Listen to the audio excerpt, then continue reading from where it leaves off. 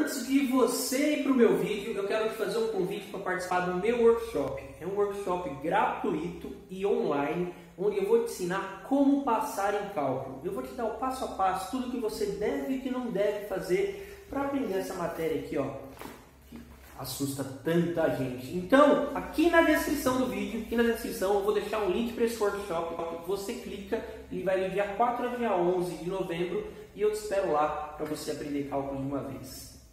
Infinito é um valor desconhecido. Como assim desconhecido, professor? Infinito é um valor grande. Será? Será que é um valor grande? Mas eu, eu até concordo você, com você que é um valor grande, mas ele é um valor grande. Mas o que é grande?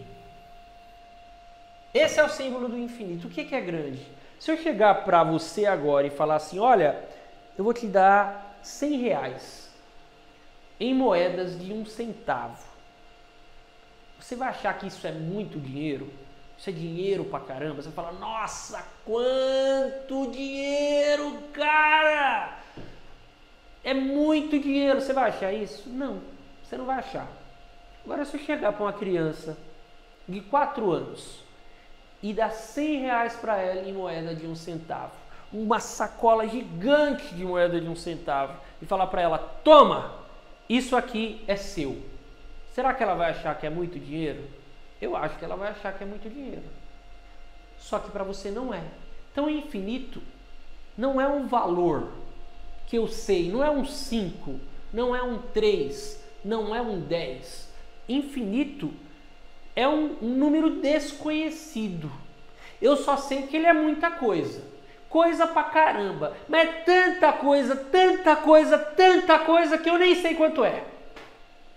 Que para mim pode ser mil moedas de um centavo. Para você pode ser 10 mil. Para o outro pode ser um milhão. Eu só sei que é muita coisa. Mas não é um valor X, é 10, é 100, não infinito, recebe esse símbolo de infinito justamente porque ele não tem um valor. E o infinito pode ser um infinito positivo ou pode ser um infinito negativo. Correto? Certo? E aí, agora nós vamos começar a tratar dos limites tendendo a infinito. Limites de uma função tendendo a infinito, eu faço assim porque eu tenho dificuldade, de verdade, gente, eu tenho dificuldade de fazer esse 8 deitado. É um 8 deitado, tá? Eu faço duas bolinhas porque eu sou limitado. Sou limitado. É como se fosse o 8 deitado aquilo ali. O que significa isso? Significa que eu tenho uma função eixo x, eixo f de x, e eu estou estudando, eu estou vendo o que acontece, eu estou vendo qual é o fenômeno que vai ocorrer quando meu x tender ao infinito, quando meu x ir lá para o finalzão. Forno de microondas. Forno de microondas Tabajara. Você tem um forno de microondas, você comprou, está feliz com o seu forno de microondas e você programa o seu forno de micro-ondas. Pegar o forno do fogão. O fogão é melhor. Fogão. Não, micro-ondas, micro-ondas, micro-ondas. Forno de micro-ondas. E você vai assar um frango no seu forno de micro-ondas. Você compra o frango e lá no frango fala assim: frango vai assar a uma temperatura de 80 graus. Programe o seu forno de micro-ondas para 80 graus. Eu não sei a temperatura. Eu posso estar falando uma grande besteira aqui com relação. Esquece! Eu, eu acho que é 80 graus. 80 graus. E você vai lá no seu forno de micro-ondas e põe 80 graus dele e aperta o botão ON, liga no seu forno de microondas e põe o frango lá dentro. O que você acha que vai acontecer? Aqui é zero graus. Ó. Temperatura, temperatura em graus Celsius. Vou deixar um T grande. Tzinho do tempo. O que, que você acha que vai acontecer? Aqui é 80 graus. Você acha que você vai apertar o botão e vai estar em 80 graus? Não, não vai. Você vai apertar o botão, aqui é um 80, ó. E vai acontecer uma dessas duas situações aqui. Ou ele vai subir lentamente. Ele está aqui, ele, ele parte do, dos 20 aqui, ó. 20 graus é a temperatura ambiente. Ele vai partir do 20 aqui, ó. Ele vai vir aqui, ó, e vai subir lentamente. E se aproximar do 80. Uma possibilidade.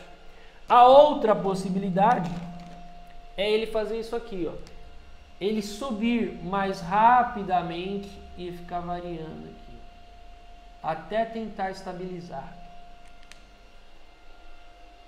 O seu objetivo como projetista desse micro-ondas é fazer com que a temperatura chegue no 80 graus que a dona de casa quer o quanto antes possível, variando o mínimo possível. Esse é o seu objetivo.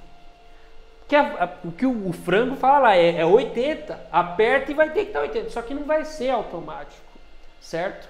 Agora uma coisa eu sei, que ao longo do tempo, tendendo ao infinito, esta temperatura vai estar em 80 graus Celsius. E o que é o infinito? Pode ser daqui uma hora, duas horas, três horas, quatro horas, cinco horas, oito horas, 240 horas, um milhão de horas. Ao longo do infinito vai estar a 80 graus Celsius e vai se manter em 80 graus Celsius, porque é isso que a dona de casa quer e é para isso que o micro-ondas existe certo? Isso é um exemplo para você entender um pouco do infinito. Eu estou falando do infinito com relação ao tempo aqui, né? A variável aqui é o tempo.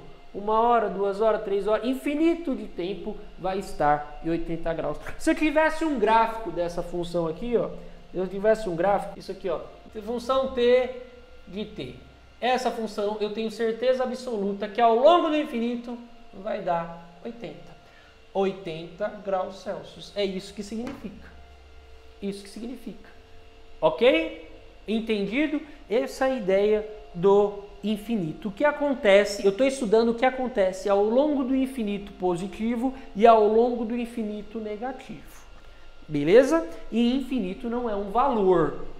Não é um valor, não é 10, não é. Infinito é relativo. Eu não sei quanto vale infinito. Entendido aí? Coloca aí para mim se vocês entenderam. Tá entendido? Tá entendido? Conseguiram entender? Coloca aí para mim